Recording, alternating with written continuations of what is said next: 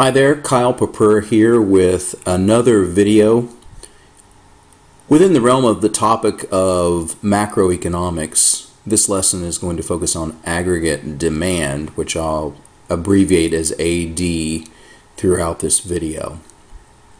We'll, uh, in the video, we're going to first define aggregate demand, talk a little bit about uh, what it is and why it is. We're going to look at the graph of aggregate demand, uh, talk a little bit about why it behaves the way it does and why it looks the way it does when we graph it. And then we're going to go through some exercises that deal with movements along an aggregate demand curve versus shifts of an aggregate demand curve. Talk a little bit about why the aggregate demand curve might shift and then I'm going to refer you to a set of exercises so that you can practice a little bit.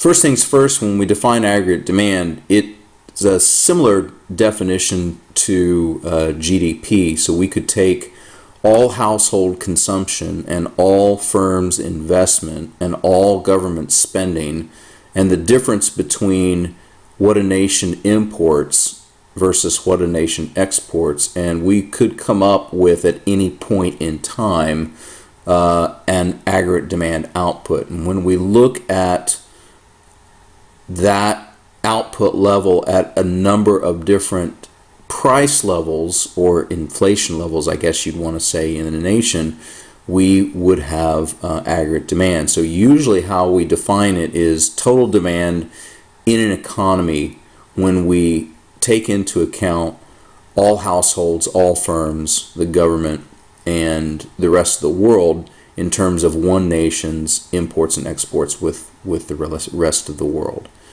Another important characteristic to keep in mind about aggregate demand is it takes the price level in a nation as measured by a price index into account. When we go to graph an aggregate demand curve, on the vertical axis we have the price level as measured by a price index, and on the horizontal axis we have real GDP, which is gross domestic product, which has been adjusted to take into account the variations of inflation. As we can see, the aggregate demand curve slopes downward to the right just like a, a demand curve does. And this means that at a high price level, a relatively high price level, real output or real GDP is relatively low. And this means that at high prices, consumers aren't likely to buy as many goods and services. Firms are not likely to invest or borrow money, certainly to invest. And if at high prices, a nation's exports are likely to be more expensive to foreign consumers. And so we find then that output is relatively low. If price levels were to lower a little bit, as I've demonstrated in the graph, then output can increase. Why is that? Well, it's because consumers can afford to purchase more goods and services. Firms can afford to take out more loans in order to invest. And because price levels are low, the exports from this nation look cheaper to a foreign consumer.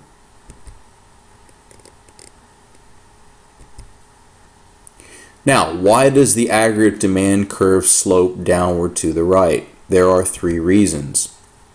The first reason is one that we're going to call the interest rate effect. And this really affects households when they're purchasing uh, big item goods like cars and houses and college uh, classes maybe for their for their kids. And it also affects firms when firms are taking out loans in order to invest and create more jobs and purchase more capital.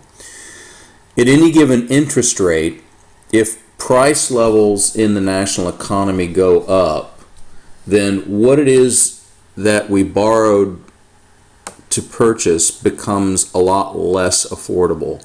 And so that we're not likely to take out loans in order to purchase those things. So we would get then a combination of high price levels and not much ability then to take out loans to purchase goods and services or from a firm's perspective to take out loans in order to invest. If price levels were to come down, then we would get more economic activity and more loans because those goods and services that we wanted to purchase with the loans become more affordable. The next is the wealth effect, and wealth is a measurement of uh, households' assets, total assets. So, houses, jewelry, vehicles, uh, maybe artwork that's in the house. If we were to add that up for per individual and multiply that by every person in the nation, we would have what we would call uh, uh, a measurement of wealth if price levels in a national economy go up, then uh, our assets feel or we feel less wealthy because our assets relative to those price levels now uh, have gone down. At lower price levels, the opposite happens. We may feel more wealthy because our assets have greater value relative to, to the price level. And we will spend accordingly. If we feel wealthy, we'll spend more money. If we don't feel as wealthy, we won't spend as money. So the wealth effect really affects consumption. The next net export effect just simply means that at high price levels, a nation's exports are more expensive, and so foreign consumers don't buy as many. At lower price levels, which I'm indicating with my cursor, uh, this nation's exports uh, seem cheaper to foreign consumers, and so they buy more. So uh, in, in, each of these three cases, we get a tendency for the aggregate supply curve to slope downward to the right as it's graphed against price levels and real GDP. When uh, we talk about aggregate demand, we need to distinguish between movements along a curve, which I'm going to talk about in this pane, and then shifts in the curve, which I'm going to talk about in the next pane. Uh, movements along a curve are simply happen when you have either changes in the price level or changes in real GDP. So if a question gives, uh, if a question or problem on an AP or an IB exam talks about changes in the price level and changes in real GDP and asks you to speculate about what's happening with the aggregate demand curve, you're not going to move anything. You're just going to simply move up and down an existing curve. So at high price levels like PL1, uh, we have a certain level of real GDP output, which we'll call Y uh, initial YI. If price levels were to lower, as I've indicated here, to PL1, then we would have a greater amount of output. So price levels in this case have decreased, and we've got greater output. Uh, if the reverse were to happen, then we would have less output. If we have something that impacts real GDP, we're probably likely to have changes in the price level. So changes in the price level, changes in the real GDP will cause movements up and down this curve. It won't cause us to have to shift and create a new curve.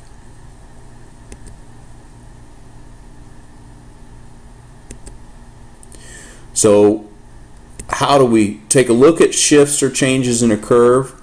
We'll start with aggregate demand initial, and we're just going to imagine that something in our national economy, like uh, maybe overall income levels or better profitability expectations among firms, or just an increase in consumer confidence, has uh, changed. And what happens then is that we've ha- we'll have a change in the entire structure of the aggregate demand curve, which will cause us to have to change the aggregate demand curve because you've had a fundamental shift in the variables that make up this curve. So in this case, let's just assume that I've had an increase in consumer confidence. Consumers are more rosy for whatever reason this next month about uh, the future uh, potential of the economy and their role in it. So if they're rosier about that, they're likely to spend more money. What happens? Well, we would have a an increase in aggregate demand from AD initial to AD1 as I have indicated here. So the entire curve would shift right. So you would have an increase in real GDP at every single price level. What would happen if the reverse were true? What would happen if we would have a decrease in consumer confidence, for example? Well, the opposite would occur.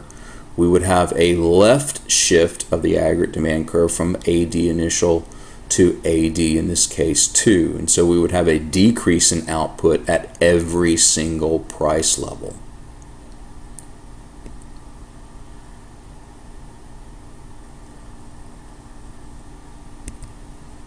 So what are some of the variables that cause changes in aggregate demand? I'll give you a second to read over these.